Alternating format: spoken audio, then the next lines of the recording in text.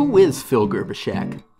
Phil Gerbyshak is a motivational speaker, a writer and blogger, a lifelong learner, and an all around helpful guy. But let's jump back a bit first.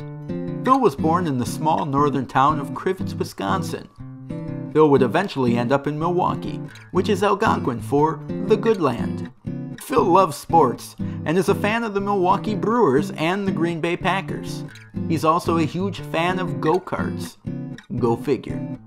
After graduating college, Phil began working as a help desk manager for a financial services firm in Milwaukee. Then Phil realized that he wanted more. He wanted his life to be great.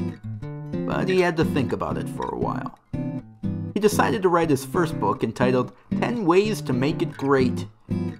Phil also became a motivational speaker, speaking to companies and organizations about customer service and how they can make it great.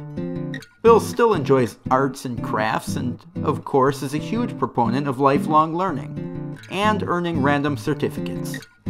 When Phil isn't speaking in a public forum, he enjoys blogging on his website, makeitgreatguy.com, and taking counsel with Julius Caesar on topics ranging from his famous salad to his little pizza chain.